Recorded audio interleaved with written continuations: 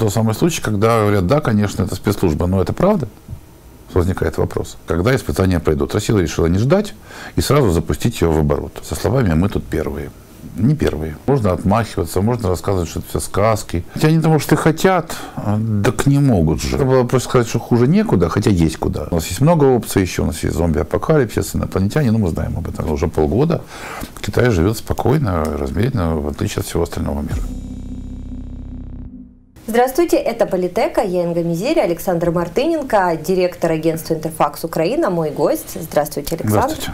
А, вот конкуренты Forbes пишут, что э, совокупное э, состояние более 2200 миллиардеров в мире с начала года выросло на 1,9 триллиона долларов, несмотря на пандемию.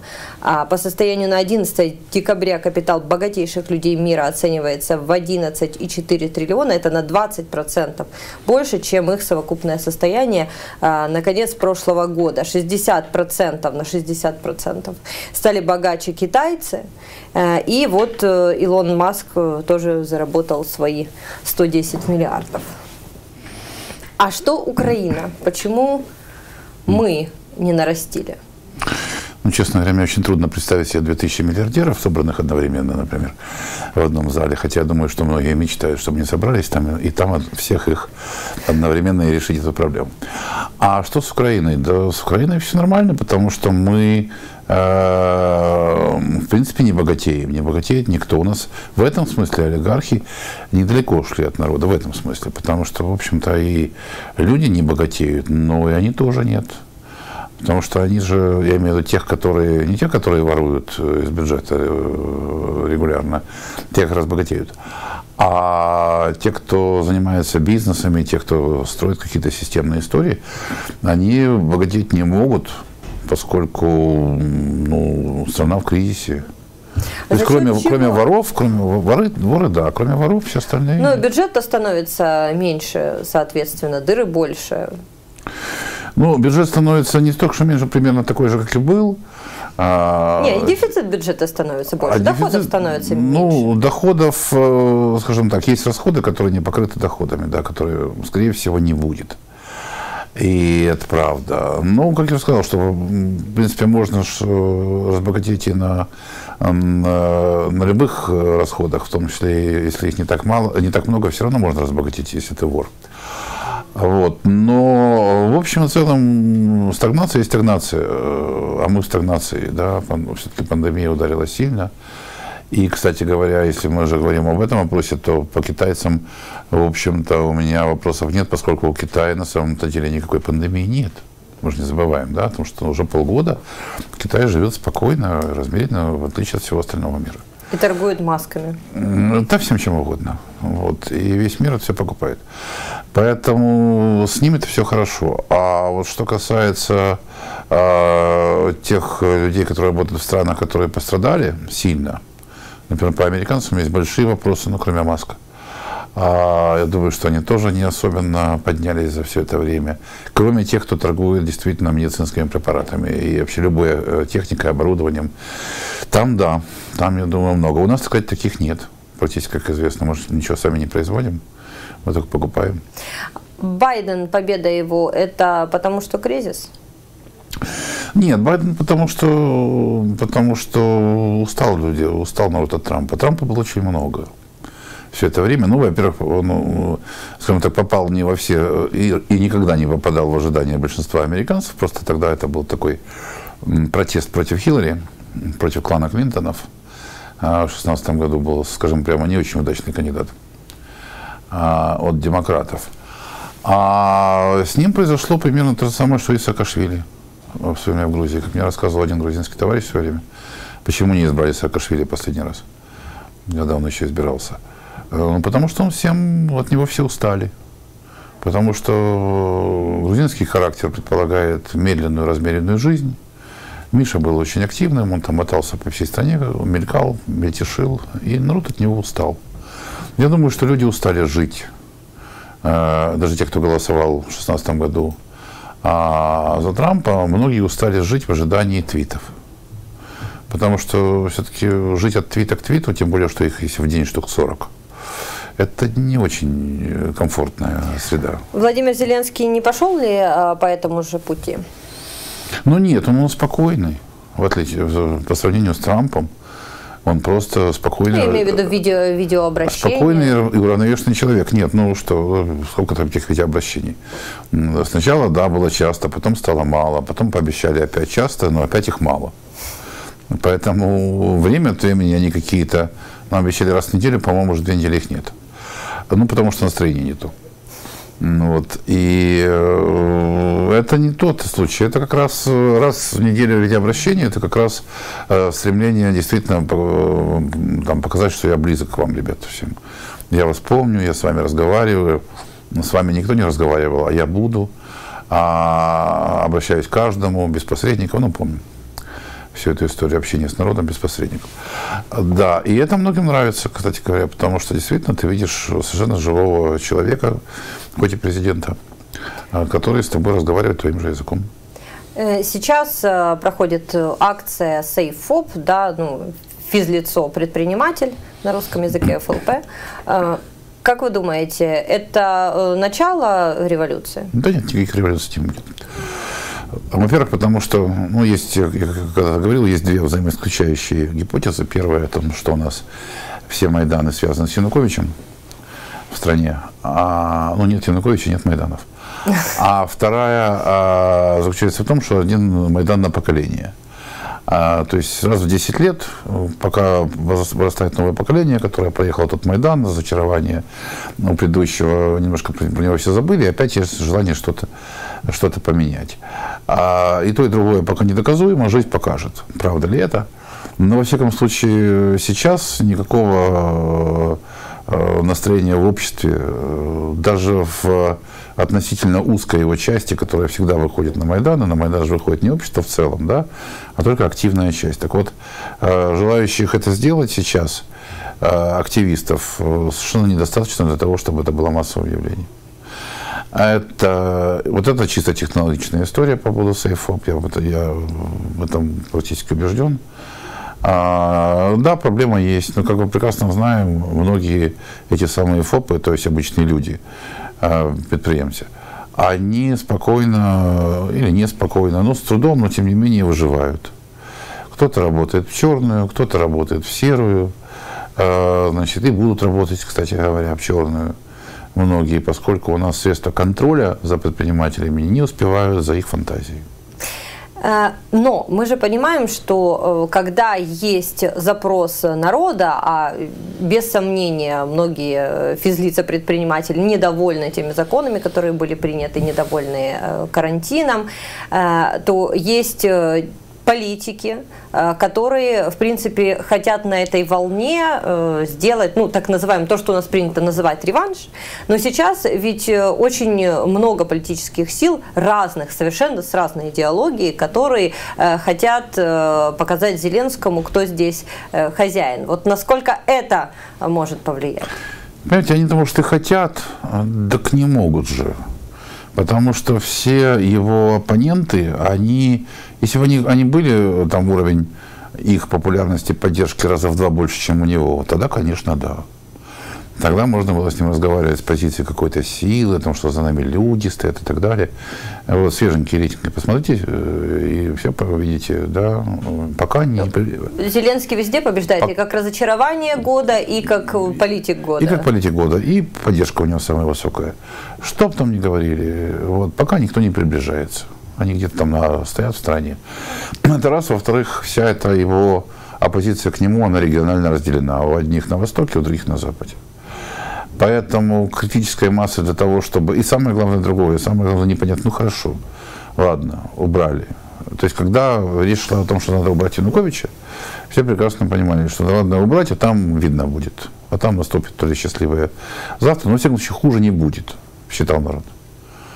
Ну, спросите у, людей на улице, вот уберите Зеленского, точно будет лучше? Никто вам не ответит «да». Ну, кроме приверженцев одной э, политической силы и второй, которая там находится рядышком, да. Ну, вот. Но общественного запроса на то, что вот уберем Зеленского и станет сразу всем хорошо, м-м. это же ведь на самом деле его подпирают те люди, которые уже были. Это же история прошлого. И я имею в виду, с одной стороны, этап ПСЖ, с другой стороны, европейская солидарность. Это все история прошлого. Одна далекого, второго не так, не так далекого. И э, спросите, опять же, людей, а есть у них желание вернуться назад? Нет. Есть желание чего-то дальше идти куда-то, есть желание что-то нового, может быть, не такого. Может, там разочаровался народ в нем, да, думали, что он будет другой, хотя я не знаю, кто об этом думал, на, на основании, собственно, чего. Поскольку, на самом деле, он какой был, такой остался, Зеленский, я имею в виду. Но... Ну, многие надеялись, что он э, окружит себя профессионалами, которые, то есть он как человек-романтик с чистыми намерениями и э, желанием бороться, и рядом э, профессионалы незапятнанные, yes. которые будут ему в этом помогать. Я совершенно не, пони- не понимаю, на основании чего народ считал, что романтик обязательно окружит себя профессионалами. Он же романтик. Он же не, не в отделе кадров работал, не в HR-компании. Не, ну вы же помните, он говорил, что там Нобелевский лауреат э, должен быть э, премьер-министром. Ну, то есть... Ну, э, правильно, он-то должен быть, но кто ж туда пойдет? Да? Он столкнулся с тем, что да, люди-то, наверное, есть. И Нобелевские лауреаты есть, просто не хочет никто идти премьер-министром, в частности. И на другие должности мало кто хочет уже. Поэтому это реальность. Я, у меня, например, иллюзий никогда никаких не было. Я прекрасно понимал, что э, особенно такими темпами, какими они собирали себе команду в, в, в прошлом году, э, что там на самом деле окажется всякое, окажутся романтики, проходимцы, аферисты, профессионалы э, и непрофессионалы. И Солянка будет такая сборная, что как бы такой вот сформированной политической силы у нее, не получится, и вообще команда не получится, потому что команда у него есть узкая, с которой он жил а, еще в квартале, вот которая пришла, там 5-6 человек, вот это его команда, а все остальные нет. И ей, кстати, этой команда не стали. И это на самом деле его проблема. Вот сейчас снова о цифрах. Последний социологический, э, социологический опрос компании «Рейтинг» 28-30 ноября. 58% украинцев э, поддерживают введение локдауна на новогодние да. праздники, 40% против этого. Но вот у нас э, по большинству вопросов в стране раскол ну, там, 50 на 50 или 60 на 40. А в чем, в чем вообще наша проблема и э, как нам из этого выходить? Ну, в общем, во-первых, не, не совсем по всем, по многим. Нет, ну конечно, если вопросы, нужно ли опускать тарифы, то, конечно, нужно. А, нужно ли поднимать все зарплаты, да, и потом, то да. Но я вам скажу, что 50, 60 на 40 фактически это тоже, в общем, большинство одних и меньшинство других. У нас бывает действительно 50 на 50 очень часто. Да, но вопрос же есть агрессивное меньшинство, понимаете? Оно очень часто решает вопросы. Что было с елкой, например, в Киеве, да? Ну, этот кто еще елка или этой? Нет, с этой елкой. С этой елкой. Нет, с этой елкой. Да, я не предлагаю сейчас да, господи, вводить это... в дискуссию по поводу шляпы. Да пусть, да пусть шляпа, звезды висят, что угодно, это никого вообще не волнует. А, только за, такой задумчивый Facebook. Так вот, а, а, а, ну, потому что это демократия, да, потому что на самом деле в демократических странах единство бывает редко. Особенно сейчас вот, э, проведите такой опрос в любой стране европейской, там будет то же самое. Ну, вот, и там тоже будет бизнес, который и меньшинство, больше там меньшинство действительно агрессивное. Вы знаете, что там на, творится на всех этих демонстрациях, митингах по поводу локдауна. Там народ бьют. Там народ дерется с полицией. Водометы по полной программе. Да, да, да.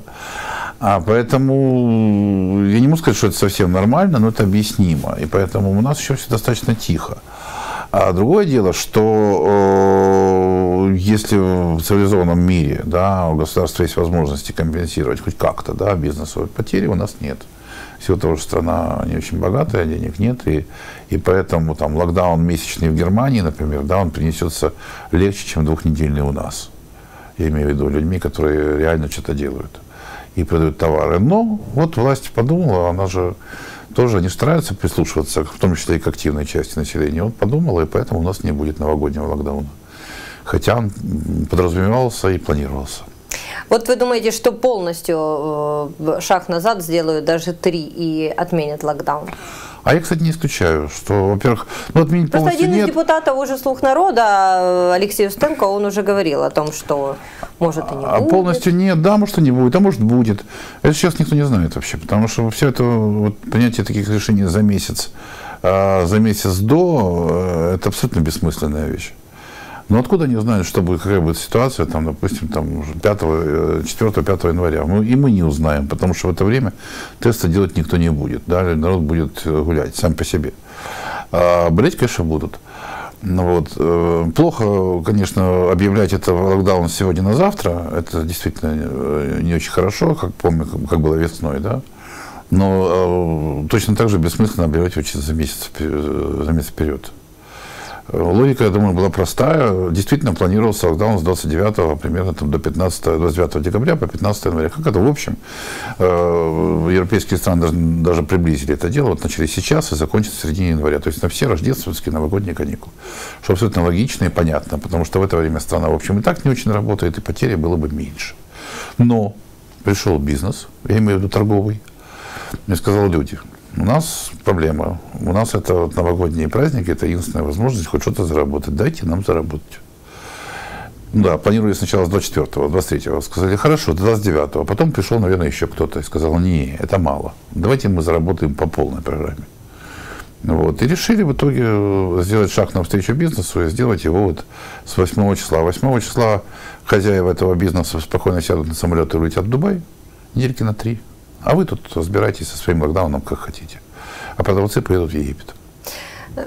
Мы, э, ну, много экспертов э, критиковало э, Швецию, которая, в принципе, для себя экономику выбирала вместо того, чтобы уходить в локдаун.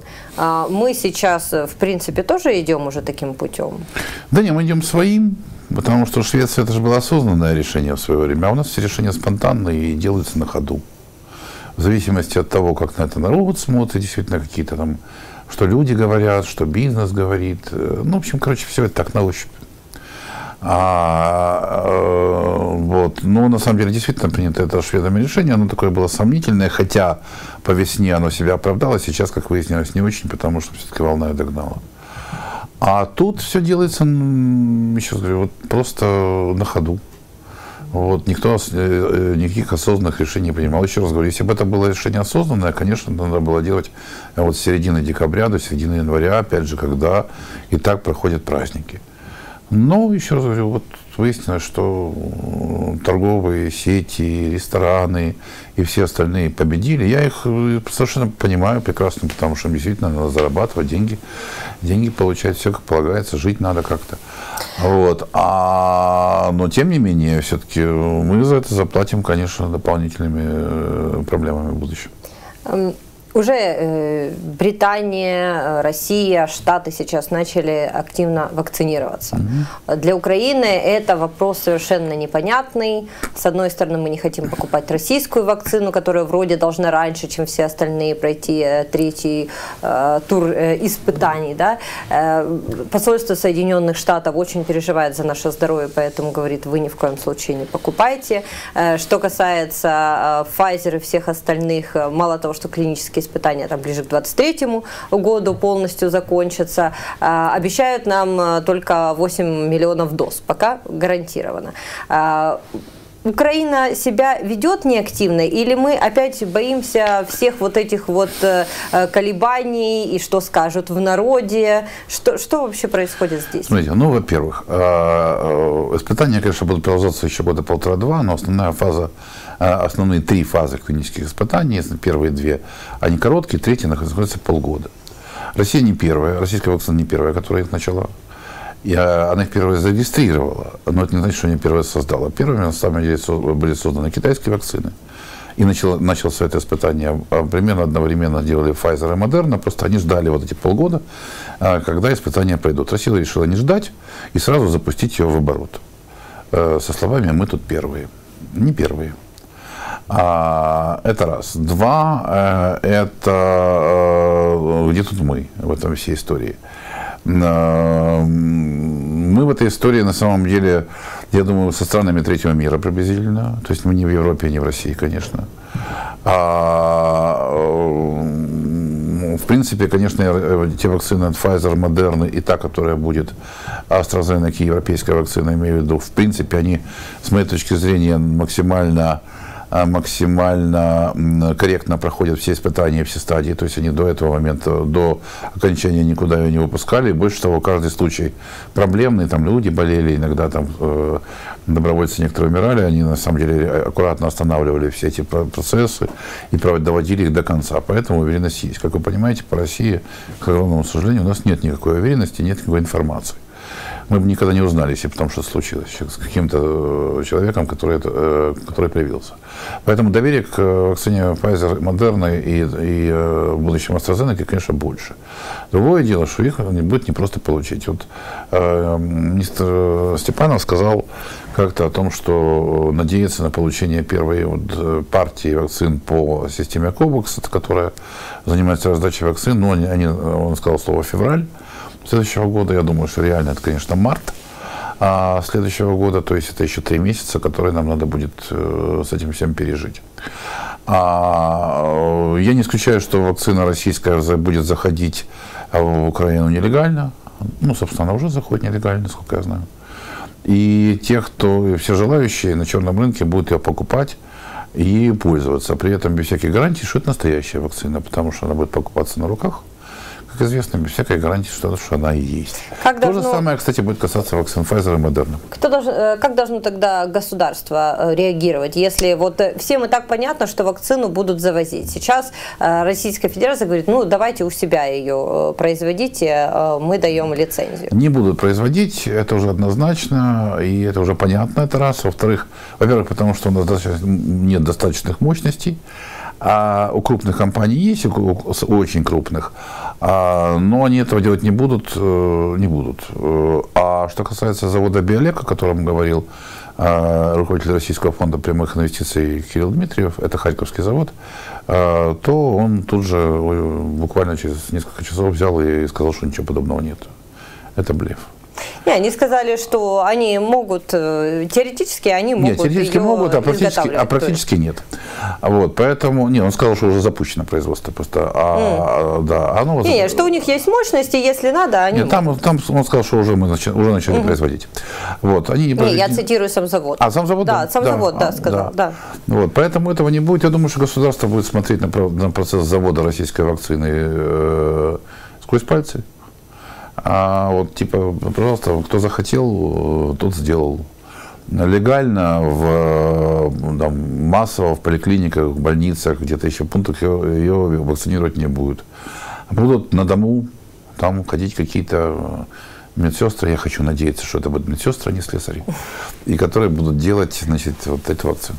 Давайте вот немного еще о России поговорим, вот э, какие там процессы происходят. Вот сейчас вот это вот э, желание э, своей вакциной одарить весь, все постсоветское пространство, ну как одарить, продать, да, вот, или дать возможность производить, конкурировать с Америкой, с Европой, вот, насколько это им вообще поможет? И ну, насколько огромному, это отразится на Украине? К огромному сожалению, вот эта гонка за вакциной в, в российском исполнении, оно, а, э, оно как бы несет две черты основных.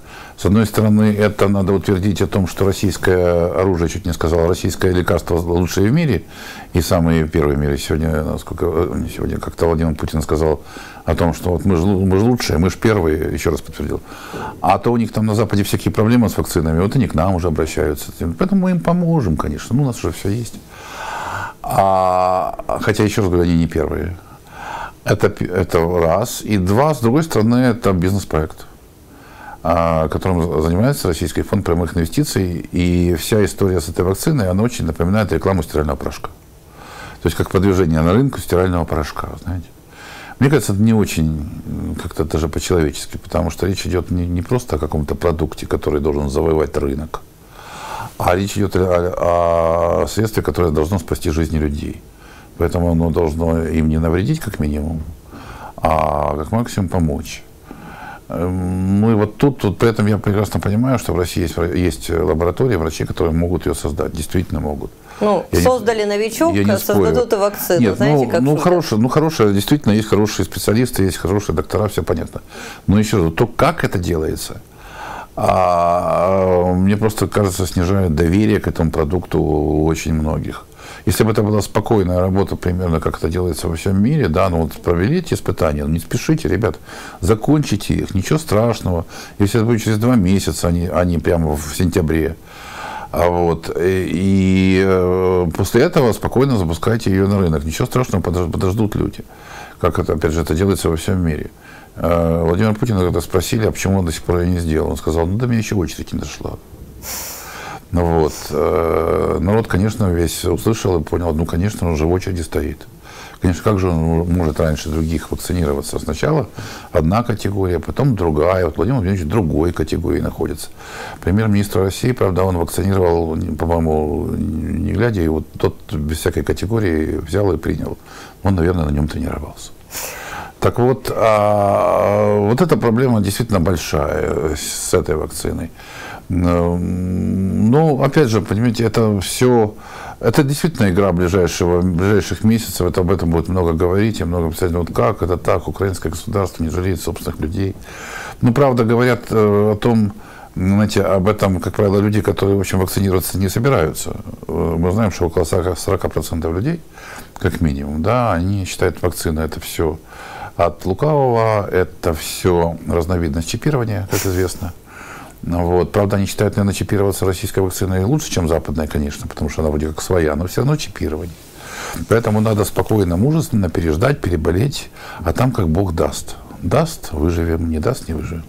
Расследование Навального по поводу собственного отравления, ну, точнее, расследование Bellingcat э, и других изданий э, топе, в тренде номер один на YouTube э, Mm-hmm. Каждый день добавляется по несколько миллионов просмотров. А, даже Путина спрашивали во время пресс-конференции да, да, об да, этом. Да. А, насколько это вообще влияет не на YouTube аудиторию, а на, а, на российскую верхушку и на состояние вообще политикума ну, Знаете, я думаю, сильно влияет, невзирая на их оптимизм, на том, что это все сказки, это все смешно читать. Смешно, читать, читать это не смешно, а познавательно, как минимум. И, конечно, э, тут, э, кстати говоря, я считаю, Владимир Владимирович прав, потому что, конечно, говорить о том, что это э, исключительно журналисты-расследователи делают, и Беллинкет, и, прочие представители медиа, я при всем глубоком уважении, абсолютно серьезно, я все-таки считаю, что у них нет таких возможностей, таких рычагов, которые были использованы при этом исследовании. Он говорит, это спецслужбы. Да, наверное, спецслужбы. Да, наверное, западные. Но э, тут сам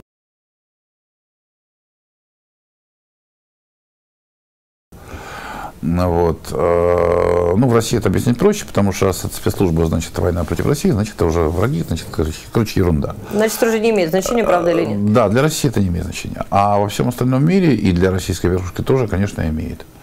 И то, как это все, в общем, э, это расследование было сделано, сделано на профессионально, высококачественно и очень, в общем, логично. А осталось нелогичное и непонятное для меня, как минимум, это мотивация, конечно. Но, знаете, нам трудно понять иногда людей, которые находятся э, в долгое время я сейчас даже не про Путина, а, в общем, про людей, которые находятся а, рядом с э, президентом, я не знаю, может, это и он был, не знаю. Но, во всяком случае, вот где-то далеко и долго, да, они находятся вверху, там где-то у власти рядом, что-то решают, это просто у них логика совершенно другая. Нам, я не могу понять ее, и никто не может понять. А, а из простых людей. Поэтому, но то, как, как это сделано было, да, там все очень красиво красиво, логично, можно отмахиваться, можно рассказывать, что это все сказки. Вот. Но тем не менее, этот, я думаю, что это расследование будет висеть какое-то время над, над всей вот, над многими людьми, которые сейчас там находятся в руководстве России когда убили Немцова, тоже об этом много говорили. В конце концов, э, в принципе, все забылось. И сколько говорили, и вот каждый раз, когда что-то происходило, говорили, Путин будет нерукопожатным. И ничего такого не происходило. Ни за Крым, э, ни за Донбасс, э, ни за убийство, ни за попытки убийства. Почему? Ну, понимаете, с одной стороны, нельзя сказать, что ничего не изменилось. Все-таки и тональность изменилась, и контакты прекратились многие. И не зря э, говорят о там, какой-то холодной войне 2, да, это не в чистом виде, но ее признаках. Это правда. Поэтому, конечно, мир изменился начиная с 2014 года. И Путин, конечно, не то, чтобы совсем не рукопожатный, но с ним мало кто встречается и редко разговаривают. А абсолютно его сделать, не, э, о нем забыть, его там заколотить Россию досками и забыть туда вход страшно. Всему миру страшно, потому что все-таки это не там не Северная Корея, да, маленькая, и, то, и, и там страшно, но она хоть маленькая, а тут огромная страна с ядерным оружием. Поэтому, конечно, а, еще с нефтью, газом. И плюс и... с энергоносителями, да, которые так или иначе куда-то поставляют, а, и которая, собственно, действительно в той же Европе, у которой много, много разных друзей, хоть не при власти, но где-то там рядом. И на это, конечно, никто особенно не пойдет. Но э, все-таки я считаю, что 14 по 20 год, вот весь этот дрейф движения России – а, и остального мира друг от друга, это взаимное движение, кстати говоря. Это не, не тот случай, когда мир взял и отвернулся, или Россия отвернулась. Нет, они отворачиваются совершенно одновременно. А, это процесс, он идет. И я не вижу пока конца его и края. Он идет не так быстро, как хотелось бы многим в Украине, конечно.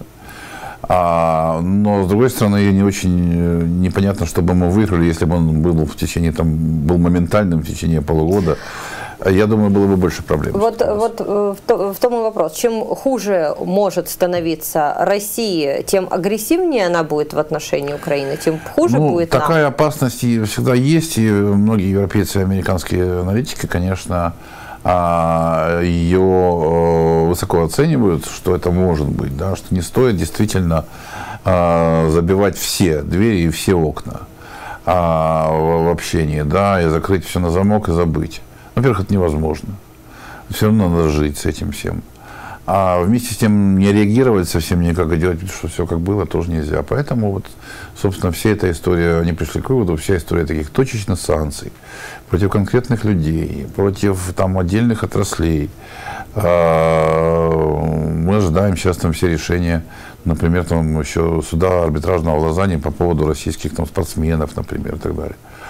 А вот все вот эти точные вещи, это, с одной стороны, вроде как реакция такая, она не очень значимая, да, скорее символичная, а с другой стороны, она, в общем, честно говоря, бьет сильно по, по возможностям многим. Ну, по, например, в отношении Крыма мы же прекрасно знаем, что ни один бизнес российский, себя уважающий, который имеет возможности выхода, выхода на Запад, в Крыму не, не работает.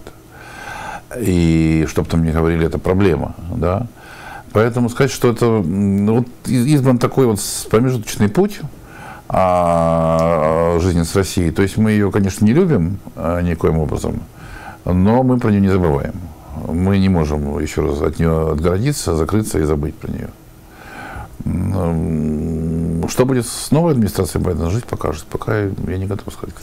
Просто злорадствовали, что Путин э, в конце концов поздравил Байдена, а оттуда как-то не ответили. Но если вспомнить, вспомнить ситуацию, что эм, в принципе Крыма э, мы контроль над ним потеряли во время демократов как раз, это был Обама, конфликт на Донбассе и очень слабая реакция э, точно так же начался при Обаме потом э, республиканцы, теперь опять демократы. Вот насколько мы можем ожидать, что э, они будут еще активнее, чем республиканцы? На самом деле, да, демократическая администрация Обамы совершила очень много ошибок.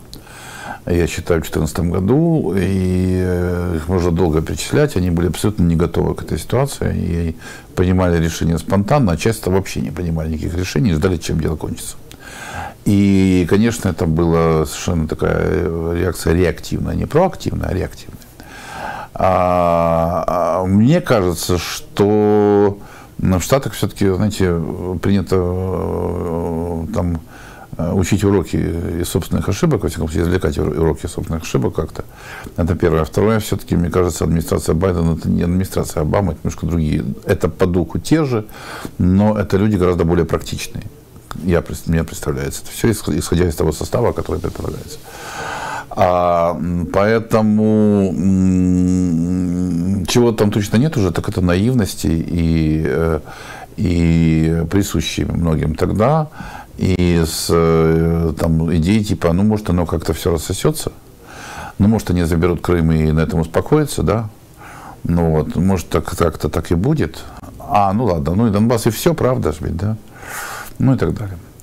А, сейчас ситуация, конечно, другая, а, хотя, хотя на самом деле правы и те, кто говорит, что у Байдена, безусловно, больше степени свободы по отношению к России, чем было у Трампа. Потому что любой шаг Трампа, как известно, в отношении навстречу России, даже это совершенно безумная встреча в Хельсинки, которая в свое время была единственной, вот, даже это, как известно, воспринималось как измена Родине.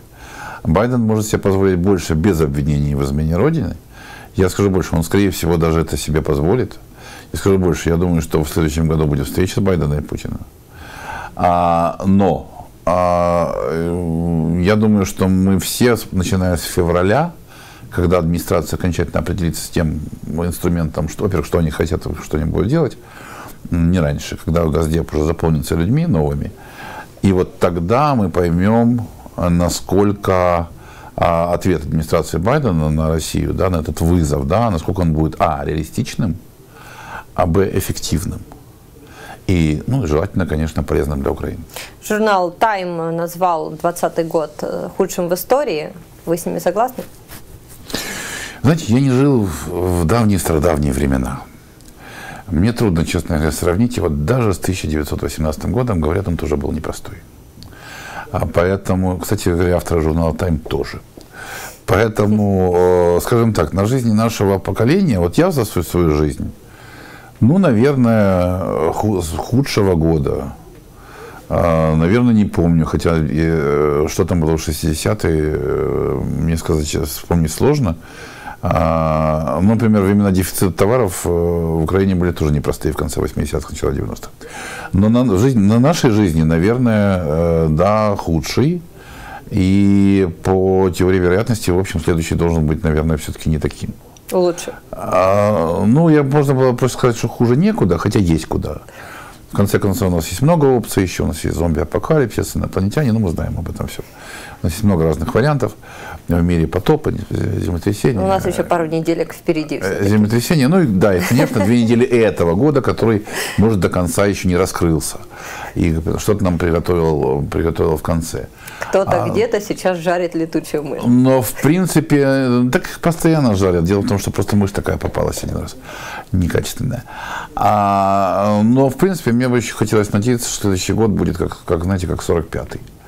А, когда начинался 45-й, кстати, никто не был уверен, как мне рассказывали, мы еще бабушки с дедушками, о том, что вот прям победа будет именно в этом году. Я, кстати говоря, сразу не имею в виду победу всего мира над нацизмом, а не только Советского Союза. А никто не думал, что это будет именно в этом году. Они чувствовали, что вот-вот оно приближается, но когда это произойдет, никто не понимал. Может, еще год думали, может, еще два надо будет. Вот примерно та же, та же самая история сейчас, потому что как бы есть такое ощущение, что вот, наверное, как-то к лету мы, наверное, все-таки вернемся а, в старую жизнь, те, кто выживет, к сожалению. А, но а, полного, полной гарантии, конечно, этого нет. Но, тем не менее, оптимизм, да. С третьей стороны, хочу сказать одну вещь. Мы не вернемся в старую жизнь, потому что жизнь никогда не будет той, которая будет после того, потому что мы получили новые привычки, мы получили новые проблемы, мы изменились. Мы, многие из нас будут нести э, вот этот новые привычки и дальше в следующую жизнь. Э, хотя я себе только представляю, что будет, конечно, для тех, особенно, э, знаете, людей, которые привыкли общаться вживую, а не в онлайне, и не играть в компьютерные игры много, вот, конечно, для них открытие, вот первый день после, вот День Победы, вот этот, mm-hmm. который я сказал, вот, будет примерно, наверное, как в 45-м, как опять же мне бабушки те сказали, что было, было совершенно э, несколько дней беспробудного восторга. Вот. Я думаю, что у нас тоже впереди в некоторой части аудитории беспробудный восторг с гуляниями, путешествиями. А ряд людей, которые привыкли ездить в отпуска, куда-то где-то отдыхать в другой стране, я думаю, едут на год. И, уже, и, и долго мы их не увидим. Ну, в общем, такая радость у нас впереди. Александр, большое спасибо. Александр Мартыненко, эксклюзивно для Политека. Я, Инга Мизеря, с вами прощаюсь.